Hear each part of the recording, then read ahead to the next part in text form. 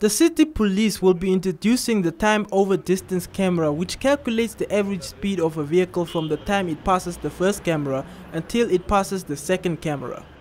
Latest technology, what we call time over distance cameras.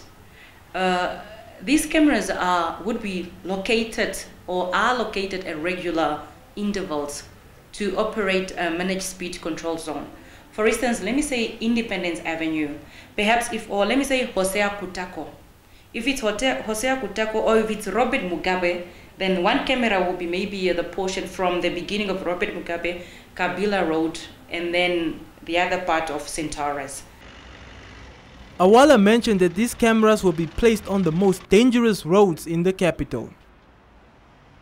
We're talking of Hosea Kutako between Mahatma Gandhi and Oifel Street, and then between Harvey and John Meinert, Hosea Kutako between John, uh, John Meinert and uh, Harvey, and then Hosea Kutako between Sam Nujoma and Mandume, and another intersection, another uh, street that we're also targeting, the most dangerous one when it comes to road accident, is Robert Mugabe between Centaurus and Kabila.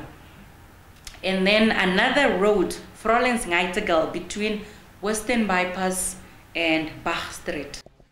The city police will be spending close to 1.5 million Namibian dollars on the first phase of this project and also urges anyone with outstanding tickets to pay them as soon as possible.